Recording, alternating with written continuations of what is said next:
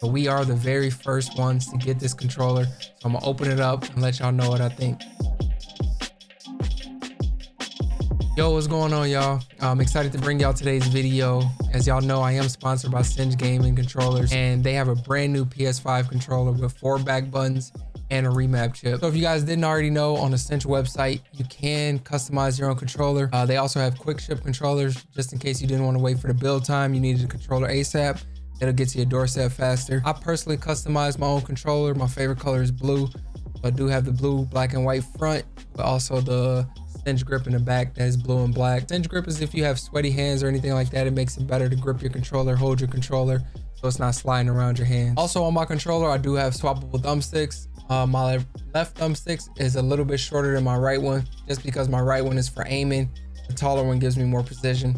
So with these, you can just pop on and pop off. They also have different options if you don't want swappable thumbstick, dome, concave, pretty much anything you need you can find on the website. All my buttons on the controller are mouse click buttons. So my face buttons, my D-pad, my bumper and my trigger are all mouse click buttons. It works out because I play a lot of first person shooter games, especially Call of Duty.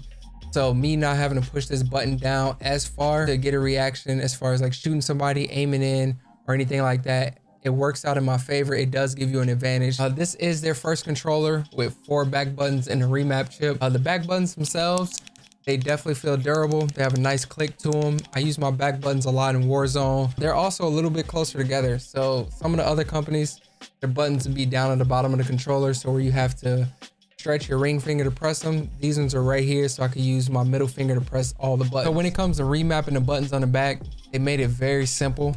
All you have to do is pick which button you want to remap and you hold it for 10 seconds. So I'm to hold this button for 10 seconds.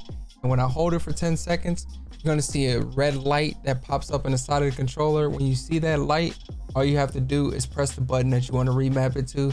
That light pops up, I hit the button I want to map it to, and then you just let go of everything, and that's it. Overall, I really do enjoy this controller. Uh, if you haven't used the PS5 controller, I highly recommend it. The PS5 controller has the fastest response time of all the controllers. And now the Cinch has one with four back buttons and a remap chip. I can really customize the controller and the buttons to fit the game that I'm playing. Don't forget when you do order one of these controllers to use code HIT SQUAD to get a 5% discount on your order. I hope y'all enjoyed the video. I appreciate y'all for watching. Much love, y'all.